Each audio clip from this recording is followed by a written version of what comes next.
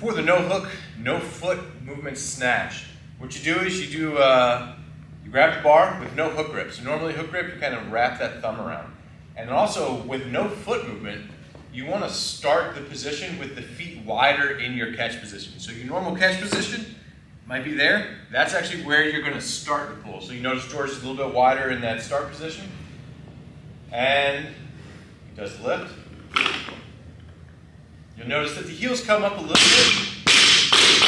But for the most part, the feet stay flat and planted. He's staying connected to the ground. So the, uh, the other thing with the no hook, no foot snatch is that by staying connected to the ground, you have a lot more feel through the movement.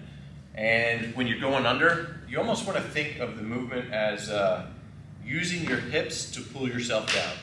So something, uh, a visualization that we like to use in here is, imagine you've got some of those uh, inversion boots and you're hanging upside down on a power rack, and then you try to like pull yourself upside down. So if this was, you know, Spider-Man standing on the ceiling, you're pulling yourself this way.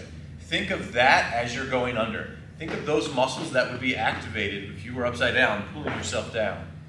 To use those to pull yourself down and not just your arms. So you're using the whole body. You're leading with the hips and you're gaining more awareness and control of the legs and stuff to help pull you under the bar.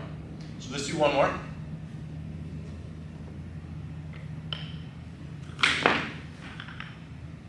Good.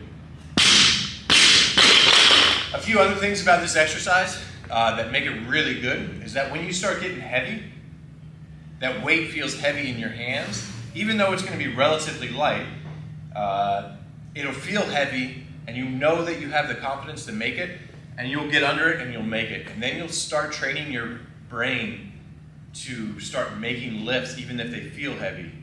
Uh, and that's a big confidence booster. So then when you go back to the hook grip and you're going after this PR lift and it feels heavy, you have the reps and the confidence to know that you can make a rep even if it feels heavy. And that's one of the big things about the no hook, no foot snatch is it feels heavy in your hands, but you'll probably still make it even when it feels heavy. So kind of trust the technique, trust the position, and uh, you'll get a lot of benefit out of it. Uh, another, uh, another good reason to use this exercise is if you're one of the people and you pull and you spend a lot of time here, and then you go under and you're barely getting under the bar.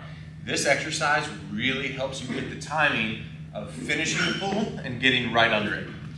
Uh, if that is already your problem, where you kind of like jump under the bar early, you might not want to include these as much in your training.